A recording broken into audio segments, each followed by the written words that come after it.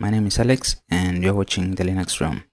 Today we look at OpenSUSE Linux, a distro that I haven't had a chance to look at in a long time. Uh, before we log in we have the GNOME Wayland, the GNOME with Xorg and the ICE window manager. You can pick one from the login screen. Now inside here is the GNOME desktop which is my favorite and we have the app drawer right there, the dock at the bottom and to begin with you open the welcome screen where you presented with uh, the details about this OS if you're new. Now if we go to readme information about nvidia drivers and GNOME browser which are proprietary and there's information on how to download those if you need them.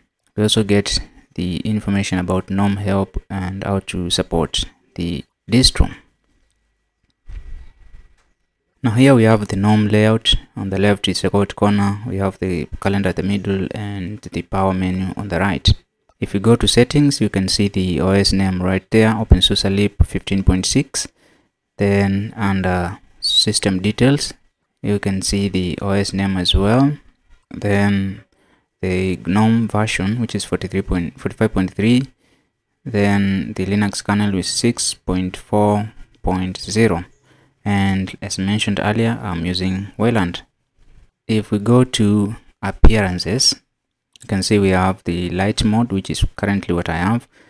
But you can also get the dark mode which looks amazing. But for now let's stick with the light mode.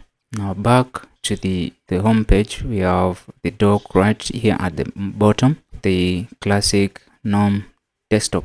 Now let's look at the system monitor and we can see the resource usage is very low. My cpu is very low and memory as well is about 1.3 gb next we go to the terminal and here let's try to run neofetch.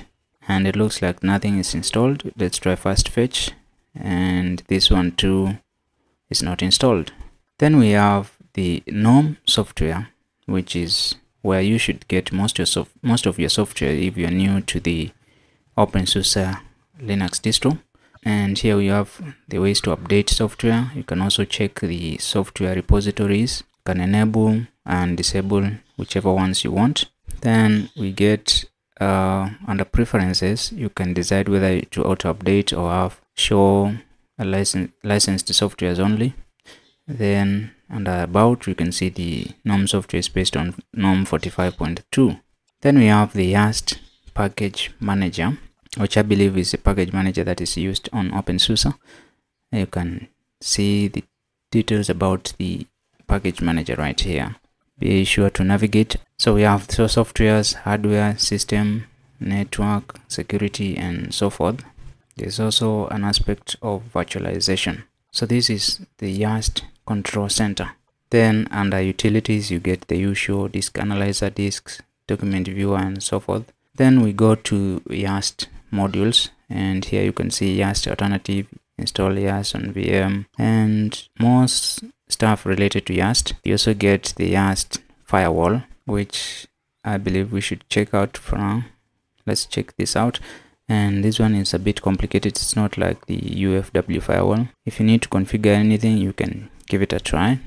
I am going to leave it as it is. Also we have the styling aspect here which is styling sheet selections so you can select installation queue high contrast uh, the cyan black us but let's stick with style qss now let's go to uh, the file manager. This is the gnome file manager. Is based on gnome 45.2 and it's usual on all gnome desktops. So it's the usual nautilus file manager. Then again let's look at the yast software management. I believe this is where the packages are updating together to the repositories. And then for browser here we have firefox as the only browser. Remember if you need chrome uh, chromium or any other browser you can also download them. And finally we look at the libreoffice which is the document editor or text editor. And for this one let's look at its version. And the current version is 24.2.1 and yeah you can use this one for your text editing. Now let's change the background. Yeah and uh, that's openSUSE for you. If you like the video make sure to give it a thumbs up subscribe to the channel and see you on the next one